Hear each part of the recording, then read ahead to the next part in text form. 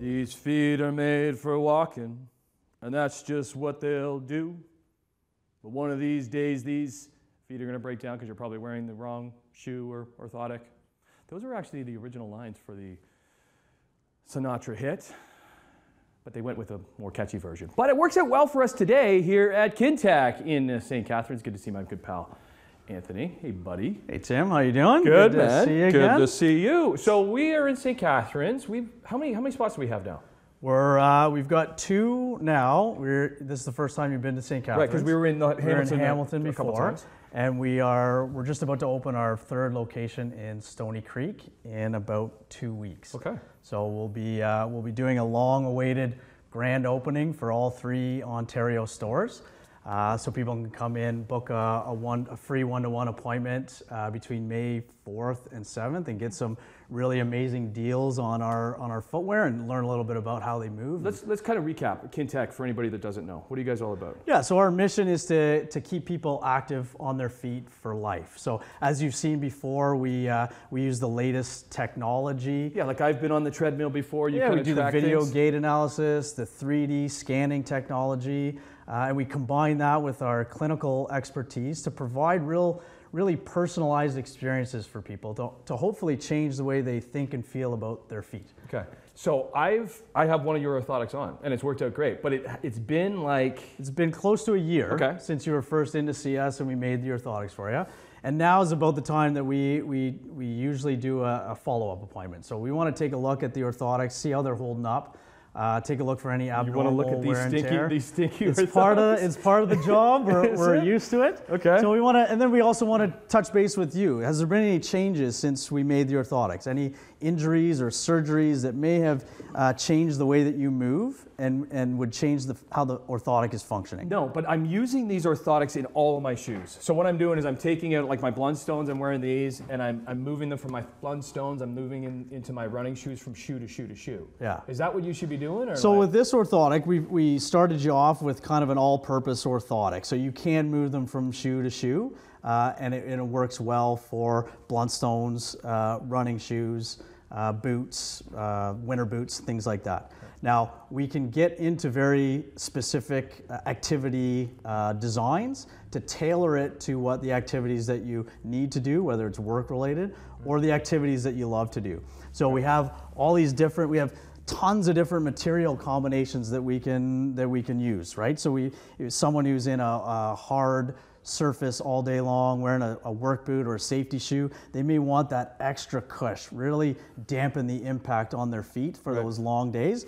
If someone loves to, to run, then they may want this ultra light material. Oh, super light, right. Yeah, like it, you barely notice it's there. It, it gives your foot excellent guidance, but doesn't weigh you down, so it, you can keep moving at a good clip. Can you look at this and see anything in my orthotic, the wear and tear on it, if it's if it's working properly or it needs- Absolutely. needs so we look for we look for excessive wear marks in certain high pressure areas. Okay, that would indicate that we need to uh, to fine tune it or adjust it. We want to look at the the underside, make sure everything's still nice and balanced. We can take it to a, a flat surface, make sure that it's still solid. Right, there's no teetering, there's no warping or distortion of the the device itself. So this is still good. I can still use these orthotics. These are still fine. This is still in good shape. Yeah, we may want to reseal some of the wear and tear because you're pulling it in and out. You've got the sweat and the oils of your foot breaking down some of the materials. So we, we the stink. so we, we shine it up a little bit. Okay. it helps protect the underlying surface, and, then, we, can, add we can add a new one. then we start adding tailored designs, right? Okay, so, let's take let's take a break. We'll get we'll get into the tailored designs. I have these these Hokas, Hokas, right, that I Yeah. absolutely love. So I'm going to put them in here, and then when we come back, we want to get into finding the proper footwear for the activity that you're doing, and also with the temperature getting pretty nice out. Like yesterday was awesome. I bet you many of you were in flip flops. I bet you many of you were probably wearing the wrong flip flops. We'll get into that with Anthony and the gang here at Kintec in St. Catharines to go along with the spot in Hamilton. Good morning. Welcome back to St. Catharines. Pretty exciting day for me. I get excited about different things these days as I get a little bit older. New orthotics for me. Back with Anthony Harper here in the gang at Kintec at, uh, I guess, their second spot in the region. The other one is in Hamilton, and we visited that one a few times. But we're kind of back of house because we're creating Yeah. some new orthotics. Now, do the orthotics get made in house, or how does it all come? So we have, a, we have our own lab that fabricates our orthotics. Does all the heavy lifting for all of our clinics in, in Ontario.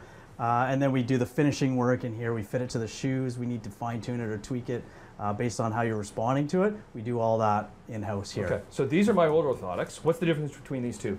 So this is our, our sport orthotic. So some of the design features differ from this a little bit. We've got some uh, extra rebound material thicker. to give you a good spring into your step if you're running or, or doing a lot of walking. We've got this heel stabilizer that's great for doing any lateral side to side type movements or stop and start activities like baseball, soccer, things like that. And this top cover is designed to just reduce shear. So you get better grip, better feel, proprioception for doing a lot of activity. Does it reduce smell? Can't guarantee that. but I'm, I'm putting these. I love these these these hokas. The last time I got them um, with you guys, and that's the key. We got the orthotic in. Okay, that feels good. Should really undo your laces, Tim, when you're putting your shoe on. Just saying. There you go. He's told me that before. Get to that though, and why that's important. The why I should not be doing it like that. I'm So- doing it for time purposes. I actually do that all the time. But Just helps with longevity of the shoe, durability. It, it will also ensure that you're you're locking your foot into the right place in the shoe. you want it nice and tight. Yeah. Okay. For so many years, I'm going for the shoe that looks the best, the, color, all of that type of stuff. And that still can be the case, but how do you know the proper shoe for me or anybody coming through the door? Yeah, so we want to make sure that you're, we're, we're getting the right shoe for the activities that you're doing, as well as the way that you move and the shape of your foot, right? So there's a few uh, functional elements that we want to kind of target, right? The first, one of the first things we're looking at, we'll grab another Hoka since you're in a Hoka, Okay. is we, we look at the forefoot rocker, okay? And that's where the toe starts to curve upwards, right? There's a couple different types of rockers. A ri- rigid, strong, stiff forefoot rocker It's going to be great for anybody uh, who's doing a lot of long distance walking, long distance running, because it reduces strain to the soft tissue of the bottom of your foot. If you suffer from plantar fasciitis, it's going to help you with that. That's what I got. If you've that's got- good. that's why I like them. yeah, if you've got Right. burning, tingling pain in the ball of your foot, it's going to offload that area really well. Okay, next. Next, we want to look at we can uh, we look at the stack height of the shoe, Oh, the right? stack, okay. So the, that's the absolute thickness underneath your foot. Okay, a, a really thick stack height is going to give you ultimate cushioning and dampening throughout your day. So if you stand for long periods of time, or again you're doing a lot of walking, it's significantly reducing the impact loads to your feet, ankles, knees, hip, back. Do we got one more? Do we have there was one more tip when looking? Well, there's lots of tips. Okay, okay. There's another good tip is that you want to consider the heel pitch of the shoe, right? So how high is the how thick is the heel versus the forefoot, Okay. right? A higher heel pitch is going to be great for people that suffer from tight calves or Achilles injuries in the past.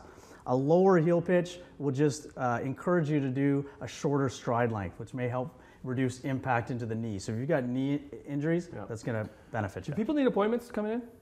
It's best, to Best. go, we, you know, we want to, we, we do free one-to-one appointments where you'll get all the video gait analysis, the 3D scannings of your foot shape, and then we learn a little bit about what you do at work and at play to help you find the right shoe for the activity that you're doing. Like nice weather. That means we're kind of changing our shoe maybe into sandals. What sandal do you got? We'll break down what you should be wearing. Come back with Anthony and the gang at Kintec in St. Catharines on Morning Live.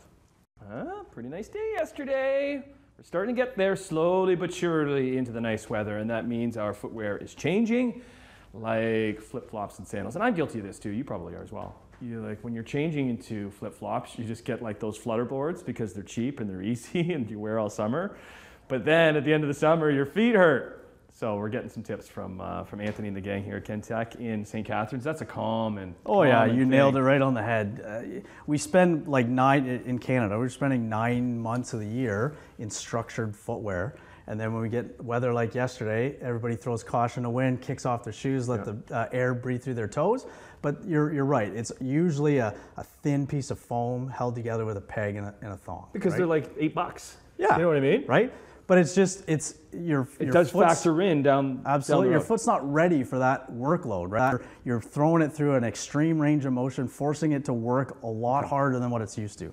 These Hoka, so I got these Hoka running shoes that I love. And I never even heard of Hokas before I came to you guys. Like, I don't know, when we last together, six months Six ago? months, yeah. So is Hoka really kind of taking off? Like, Yeah, we're seeing an amazing response to Hoka because they're so comfortable, they're Yeah. structured, they work well with a variety of different types of insoles. what's, what's their sandals like? So they're sandals, same principles as what we talked about with footwear, right? So this versus your typical or traditional uh, flip flop has a real thick stack height. So lots of cushioning. It's going to reduce the impact when you hit the ground.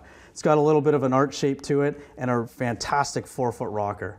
So it's doing a lot of that offloading for you, smooth transition from step to step. Uh, just makes you feel like you're floating around, but you've got that airy feel. It's got nice thick straps to help lock it on your foot. Because normally in a flip flop, you're, a lot of the work is just to keep it on your foot, right? Your toes are grasping just to hold on. Is that an 11? This is an 11. Can I yeah. toss them on? Yeah, throw them on. I trimmed my spin. toenails just for you guys at home. Probably still want to get uh, close up though, there, Lukey boy. Ah, okay. Nice. Nice. Okay, well, but besides Hoka, is that the only one you carry? No, so we have to have a, a variety of different brands because each brand will have it a little bit different shape. So we have to accommodate a whole bunch of different foot postures, right? So different brands will feel a little bit different, right? Yeah, we know this brand, Birkenstock. Yeah, some people brand. love Birkenstock. They'll swear by them. Other people have a hard time tolerating it. Why? It, it's a it's a fairly aggressive arch and it's a hard cork that takes a little bit of time to to break down and kind of mold around the contours of your foot.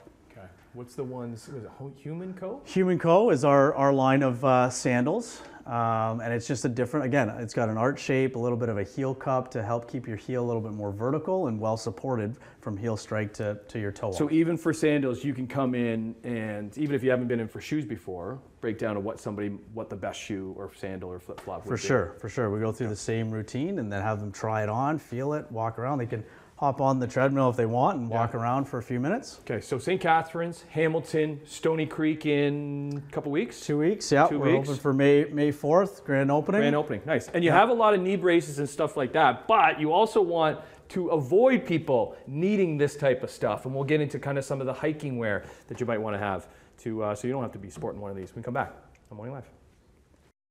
So what you wear on your feet is so important to how the rest of your body feels.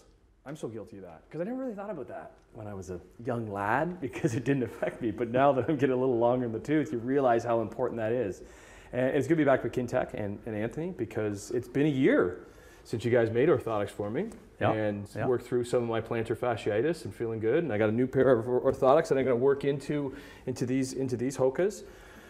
When it comes to a work shoe, we don't think about the work side of things. We want No. a good hiker, a good runner. Yeah. Why do we not go there? Yeah, it's because it's not fun, right? So we want to make sure that your your shoes are working as hard as you are, right? People get excited about coming in and learning all the different features of a hiking shoe or a running shoe um, that's going to enhance their experience of the thing that they're passionate about. When it comes to their work shoe, they often come in and like, uh, it just needs to be black, right? Not taking into account the amount of time that you're spending on your feet, especially if you're, you know, you work at one of these massive hospitals or distribution centers where you're walking like thousands of steps per day, uh, kilometers, kilometers. Uh, it's eclipsing the amount of time that you're spending in your recreational shoes, right? So where do you where do you start? Where do you go? Like obviously, what do you encourage somebody that is on their feet a lot and doing all of that for a work shoe? Yeah, So wh- what's a good work shoe? Whenever possible, we're going to try and steer them into these these running shoes or these walking shoes, right? Um, if their job requires them to have a, just an all black service type shoe, we're, we're going to try and get something that has the properties Right. of a running shoe with that that thick there. midsole, the so we're back to this thick. yeah, thick midsole, nice forefoot rocker, um, strong heel counter to stabilize the foot. Um, all the features that we look for in our biomechanical video gait assessments, match them to make them move as efficiently as possible so that at the end of the day, their, their legs don't feel heavy and sluggish and achy. They're, they're ready to do the activities that they love to do. brands difference between brands every brand is offering something different a little bit different shape, right? Every every shoe company builds their shoes a little bit different. So for for you, you may be you may fit awesome in a Well, I'm- Hoka. I'm loving these Hokas, right? Yeah. And that's a brand that's really starting to come around that you're seeing more and more. But like you go the old classic brand of, of the Nikes. That's right. It all depends on your foot shape, right? So some foot shapes are going to fit differently in different shoes. So you have to match that shape with the, the individual. So someone may fit really well in a Brooks, and their friend or their uh, wife may fit well in a New Balance, right? So we've got to match that to their. And that's through the, the whole process of coming in here and, and figuring That's all part of our one-to-one experience. Are you? What's the average age? Like I don't know. I'm I'm 40-ish. Are you seeing 20-year-olds coming in and doing We that? do. We see um, anywhere from you know the majority of the teenagers that are athletic populations where we're looking at performance and recovery, uh, or injury prevention or injury um, uh, rehab, and then we're seeing um, middle-aged people that have been on their feet for a long history at work to um, older people that are dealing with arthritis and diabetes. And so we see a, a, a huge variety of people and, and what they need. Their requirements are different based on their lifestyle and their life stage. So we've been to St. Catharines store. This is the second one in the area behind the Hamilton store. We went and visited a couple times. Um, shout out to where's Corey? Corey, there's Corey. Where's Mike?